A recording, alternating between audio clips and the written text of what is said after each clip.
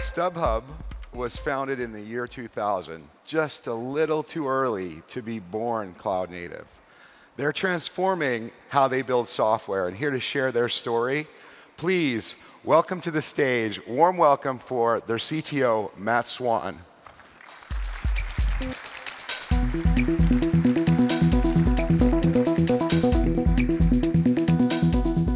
Good morning, SpringOne. I'm, I'm Matt Swann. I am the CTO of StubHub. And uh, I'm here today to share our mission and our journey to modernize and rethink our products. Now, does everybody know StubHub? Well, for those that don't, uh, I'm going to take a, a quick second to show our latest commercial that really highlights our product and our brand.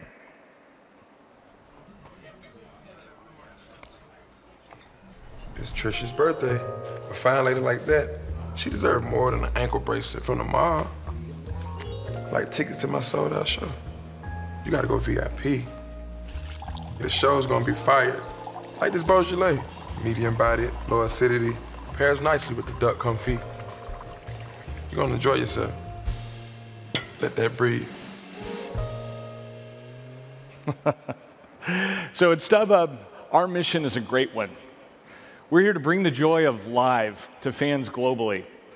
Our teams are fans of entertainment and sports. We wake up every day fired up to reinvent the digital event economy. Every day we touch the lives of millions of buyers and sellers and developers. And we've got rappers on standby who pour wine in the office whenever you need it. But I'm excited to talk to you today about how we're leveraging the power of cloud, machine learning, microservices, data, and AI to really power and reinvent our future to bring the joy live to fans globally. But first, let me tell you a little bit about who we are. We are the world's largest event marketplace. We have over 150 million customers who shop with us annually. We've got millions of tickets available at any point in time.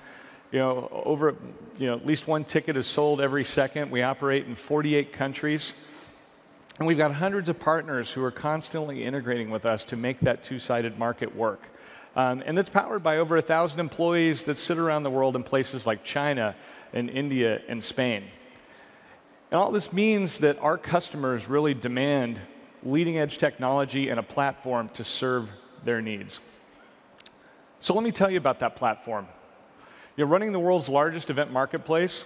It's not easy. Our platform does serve buyers, sellers, and developers. You know, for buyers, we offer the world's largest selection of tickets. We offer a simple, highly personalized, always on experience where customers can make real time purchases anywhere they want to be.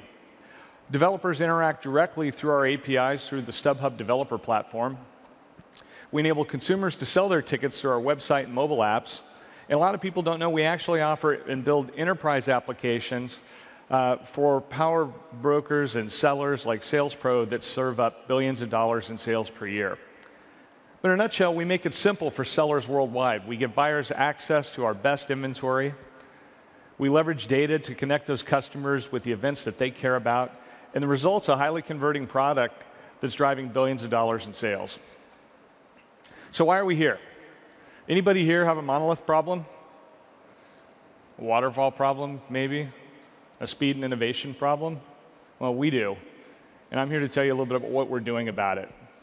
So, at StubHub, our greatest opportunities are really speed and innovation. And innovation is not that much of a problem in that we have great ideas, but we've been challenged to execute at the speed that we'd like.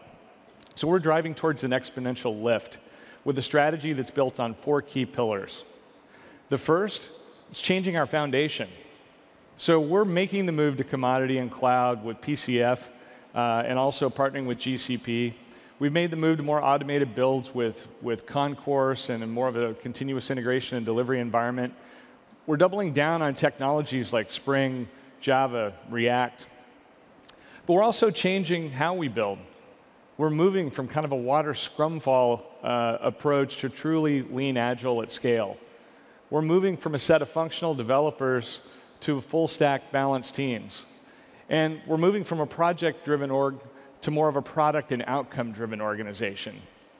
We're also changing what we build, though. We are in the process of moving to an event driven architecture We're taking that monolith and breaking it up into microservices. We're beginning to experiment with serverless technologies.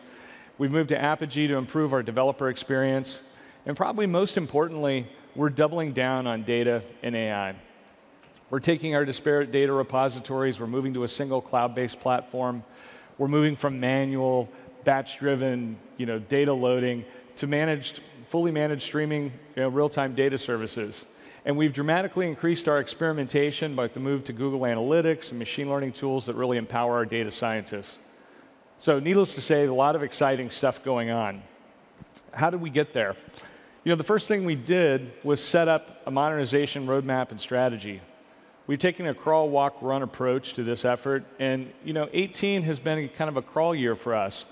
It was really important to nail the foundation, get alignment with the teams, uh, and start to prove, get some proof points in place for the business.